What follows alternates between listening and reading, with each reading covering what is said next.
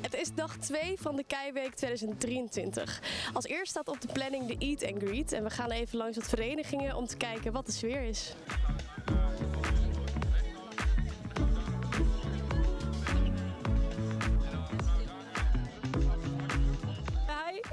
Ben Nina van Gias en eh, ik sta hier vandaag namens eh, de topsportcommissie.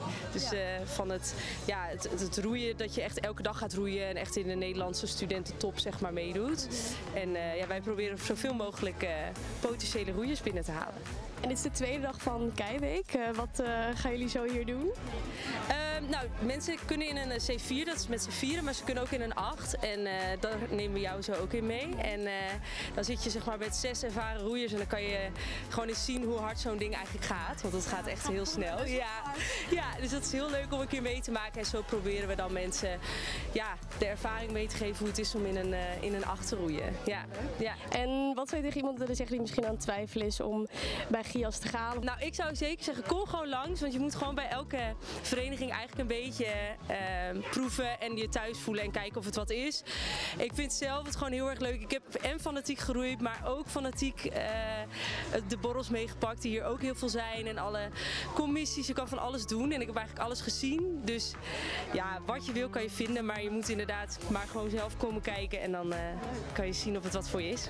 Ja. Misschien moet ik even kijken hoe het in de boot is. Oké, top.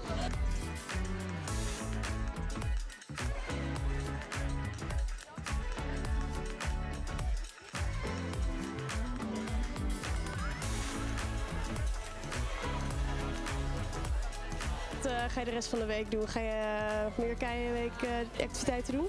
Eat and greet, nieuwe mensen ontmoeten denk ik. Ehm, misschien wel verenigingen langs. Morgen de kroegtocht is volgens mij. Morgenavond ga je daar ook heen.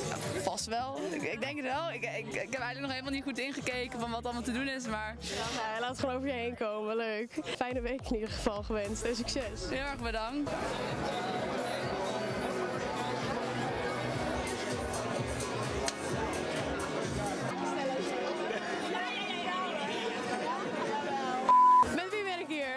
Hey, bent u met Ties? Zo.